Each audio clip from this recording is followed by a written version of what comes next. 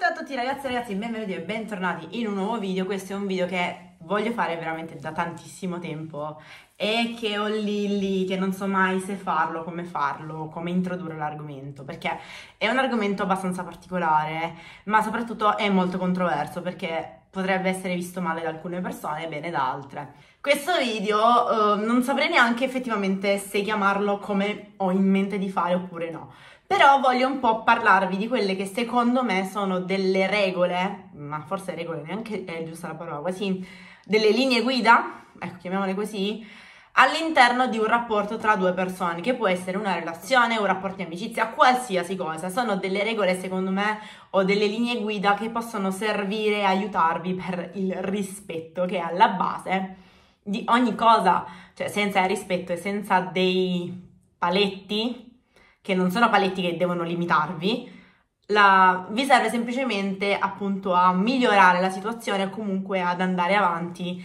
affinché nessuna delle due persone, nessuna delle due parti stia effettivamente male. Queste regole mi sono venute, o queste linee guida, mi sono venute um, di ispirazione, tra virgolette, su un video che ho visto su TikTok, e tra l'altro è questo qui in particolare. Vi leggo più o meno e magari ve le analizzo una per una. Numero uno, non si va a dormire litigati, si discute e si trova una soluzione. Questa cosa è sacrosanta, proprio sacrosanta. Perché? Perché se avete visto il video probabilmente precedente a questo, un po' prima di questo, sapete che essendo io in primis un overthinker, se arrivo ad avere una situazione di stallo durante la notte, il mio cervello proprio ten- tende a creare combinazioni assurde su quello che può succedere o non può succedere, pensando sempre alle cose più negative.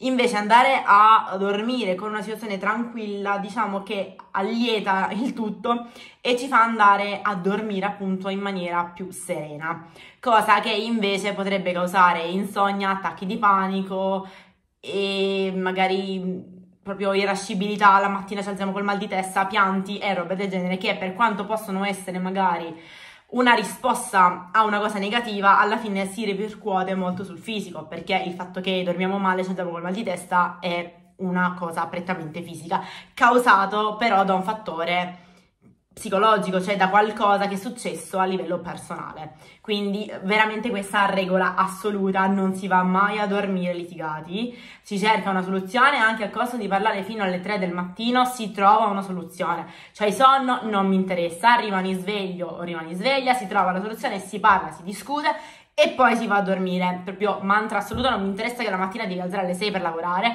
hai voluto litigare la sera, non hai voluto trovare soluzione, adesso ti ingegni, stai sveglio o stai sveglia e trovi la soluzione insieme a me e andiamo avanti, altrimenti non ha senso neanche proprio cercare un confronto, perché se poi io la mattina mi devo alzare uh, col muso, nervosa, cioè n- non, va- non ha proprio senso che sia, ripeto, un rapporto interpersonale o di qualsiasi altra natura, cioè non mi interessa, no, non si fa, non si fa e basta. Due, niente bugie.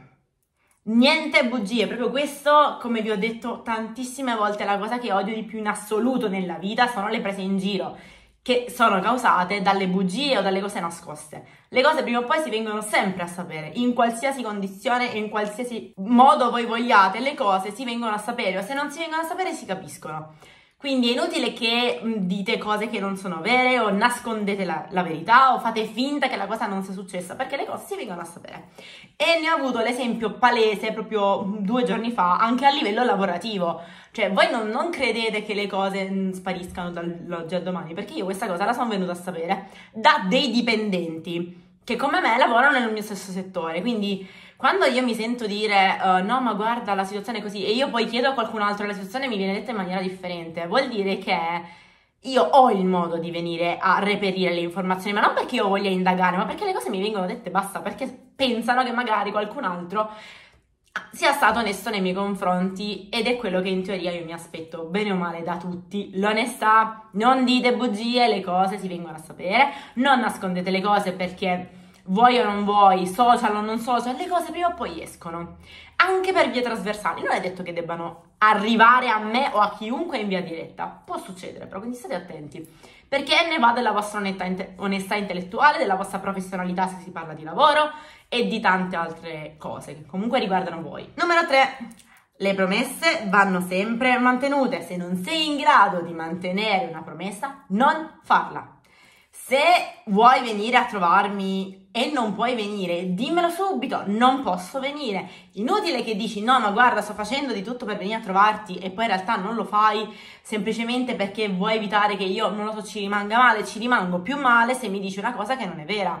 Non ha senso che mi dici guarda, secondo me uh, è meglio che uh, provo a trovare così colà, ti inventi castelli infiniti e poi alla fine neanche vieni a trovarmi. Dimmi semplicemente guarda, la situazione è questa, preferisco n- non venire oppure non me la sento oppure non posso, ma dimmelo. Non fingere che ti interessi mantenere questa promessa oppure non fingere che questa cosa ti possa interessare, cioè non farla proprio io sono una persona che vuoi o non vuoi, le promesse che ha fatto, nel bene e nel male le ha sempre mantenute e sono la prima che ammette che quando una cosa non la sa fare evita proprio di dirla, cioè io sono veramente estremamente coerente con questa cosa ed è una cosa che del mio carattere mi piace tantissimo, il fatto di essere estremamente coerente, se dico una cosa la faccio sempre. Se quella cosa non la dico oppure tendo a evitare di dirla è perché o la cosa non mi interessa o mi sta veramente pesando tantissimo farla o non provo interesse nel fare quella determinata cosa, altrimenti sono estremamente determinata nella cosa che vado a fare e soprattutto sono onesta, perché se vado a dire una bugia che è collegato al non mantengo la promessa, mento a me stessa in primis e poi a quello che ho di fronte, quindi se non sono in grado di mantenere la parola che ho dato, lo dico, perché in primis sto ledendo a me, perché perdo di credibilità verso l'altra persona non è una cosa estremamente bella. 4. Dimmi cosa ti dà fastidio, perché alla base di ogni rapporto c'è la comunicazione. Se io faccio qualcosa che ti dà fastidio, devi dirmelo, perché altrimenti io non posso correggermi. Non so capire dove sbaglio se tu non mi dici quella cosa mi dà fastidio, quella cosa non mi piace, perché magari quella cosa a me non crea problemi, quella cosa a me piace. Quindi se io non lo so, prendo il telefono in questo modo e a te dà fastidio perché sei abituato che lo prendi in questo modo, dimmelo. Ora vi ho fatto veramente un esempio stupidissimo. Però, ad esempio, se io faccio il letto in un modo e tu lo fai in un altro, dimmelo. Io sono abituato a farlo in questo modo, preferisco che lo fai così. Oppure, uh, la tua parte la fai in questo modo, la mia però me la gestisco io. Però ditelo perché se io non so cosa vi può dare fastidio, io come faccio a modificare i miei atteggiamenti? Come faccio a capire che quella cosa può, da- può innervosirvi? Cioè, sempre tutto alla base è la comunicazione. Dovete parlare e non obbligarvi a farvi tirare le parole. Parlate, parlate, parlate. C'è una cosa che vi dà fastidio? Ditelo. E questo vale veramente in ogni tipo di rapporto e in primis banalmente questo rapporto va sulle amicizie perché le amicizie spesso si incrinano per delle stupidaggini assurde, si incrinano per delle sciocchezze, quindi che possono dipendere dal mi ha dato fastidio quel tuo atteggiamento ma in quel momento non te l'ho detto perché. No, ditelo subito, vi dà fastidio? Guarda, senti, secondo me potevi evitare questa cosa perché non mi ha fatto piacere, mi ha dato fastidio non, non, non, vi dovete preoccupare della reazione dell'altro, è più preoccupante il fatto che voi non diciate come la pensate. 5. La fiducia è la cosa principale. Fidarsi è bene, non fidarsi è meglio. E qui andiamo, potremmo andare avanti per detti, però no. Se io ti sto regalando la mia fiducia, il mio modo di essere, il mio modo di vedere, e tu tradisci la mia fiducia, tradisci il fatto che io uh, mi sia aperta con te tante altre cose, hai perso completamente tutto perché tu vuol dire che non hai interesse in quello che sono io, nella mia persona, in quello che faccio e la mia fiducia viene a cadere in quell'esatto momento e non è recuperabile proprio mai. Io cerco sempre di dare, e forse sbaglio, una seconda possibilità a chiunque, alle volte anche una terza, ma vabbè, è, è raro ma è successo. E mi rendo conto che sbaglio perché le persone tendono a non modificare il loro atteggiamento, quindi se sbagliano o se pensano di far bene in realtà stanno sbagliando, non si correggono praticamente mai. Se la mia fiducia l'hai già persa una volta, è molto facile che tu la perda una seconda volta perché il tuo atteggiamento non cambia. ed è purtroppo oh, qualcosa, che io, qualcosa che io noto molto mh, mm, più frequentemente. Più vado avanti, più cresco, più mi rendo conto che è una cosa veramente scontata. Il fatto di non fidarsi o comunque di cioè credere che qualcosa debba essere quasi scontata.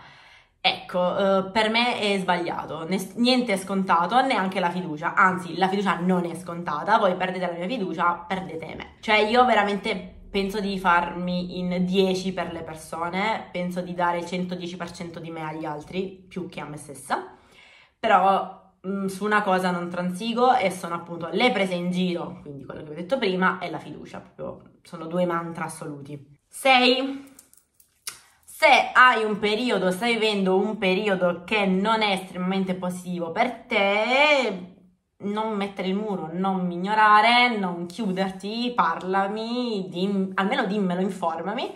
Io posso provare ad aiutarti se vuoi, altrimenti no, ma almeno dimmelo, cioè non sparire dall'oggi al domani, non far sì che il tuo atteggiamento possa creare nella mia testa tante domande, dire ma perché questa persona è sparita, ma che è successo, che fine ha fatto, perché non è cioè non, non, non ne vale la pena, non crei niente di positivo nell'altra persona. 7. L'orgoglio si mette da parte, sempre.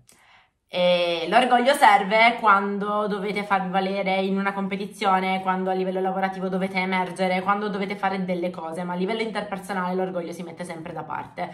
Perché che tu ti metti a urlare contro di me Mm, pretendendo di avere ragione, per me vali meno di zero, perché una persona che mi urla in faccia o comunque che fa in modo di ergersi come la paladina della giustizia, mm, no, non ha senso, per me non vali come persona, quindi no, assolutamente no.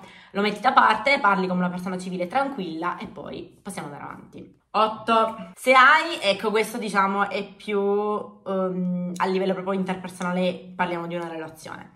Se perdi interesse nei miei confronti, se non provi più le stesse cose o se non le riesci mai a provare, dimmelo e metti in chiaro subito la cosa. Io non sono in grado di. Lo accetto, magari ci metto un po' di tempo, magari all'inizio ci sto male, ma almeno lo capisco, perché fingere di interessarti oppure far finta di provare a interessarti si vede, è palese, io me ne rendo conto e torniamo al discorso di prima, che le cose prima o poi si vengono a sapere. Quindi sì, anche in questo caso si viene a sapere o comunque me ne accorgo. 9. Non farti mai influenzare dagli altri. Cerca di ragionare con la tua testa, cerca di essere cosciente di quello che fai, cerca di essere presente per te e non per gli altri, perché la tua vita è la tua, non è quella degli altri. Cioè, se io devo vivere la vita degli altri, me ne vado a casa degli altri e faccio la vita degli altri.